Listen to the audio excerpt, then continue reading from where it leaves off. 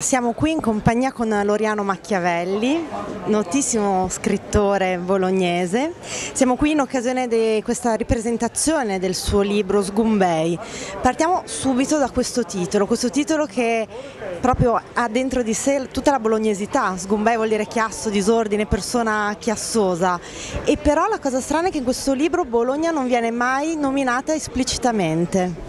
Beh, è un omaggio che io ho voluto fare a questa città che mi ha accolto tantissimi anni fa e che mi ha accudito e che ha fatto di me quello che sono in realtà.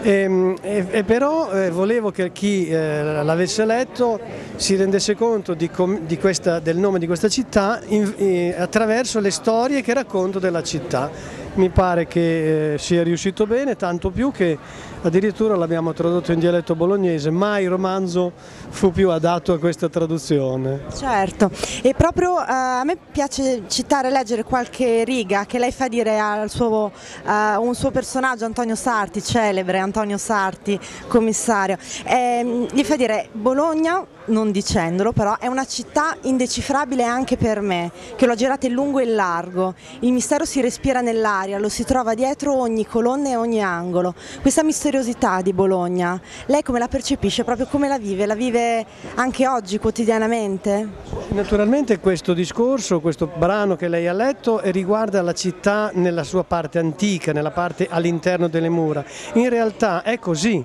se noi immaginiamo questa città senza le illuminazioni che ci sono oggi, medioevo o secoli successivi, ci rendiamo conto di quanto sia misteriosa. I portici sono un luogo dove si può nascondere di tutto e allora si respira veramente. Io ho sempre avuto questa sensazione di città misteriosa che si nasconde.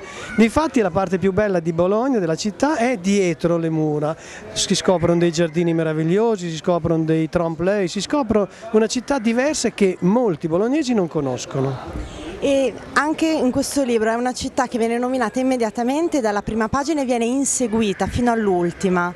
E secondo lei è un po' così anche oggi Bologna? Cioè non è una delle città più conosciute, più eh, famose, più frequentate d'Italia, però qual è il suo, il suo appeal che rimane? Ma se noi pensiamo alla gente che lo frequenta, d'accordo, ma la gente che la conosce questa città è pochissima. Gli stessi bolognesi non sanno, per esempio, dell'esistenza di un'altra città che sta sotto questa, che ha uno sviluppo molto maggiore dei portici che conoscono tutti. Quindi questa città, come tutte le città, va investigata, va, va, eh, dire, va eh, investigata, va studiata e va inseguita e mai la raggiungeremo perché mentre noi la inseguiamo lei continua a mostrarci o a nasconderci altri tesori che non abbiamo ancora scoperto.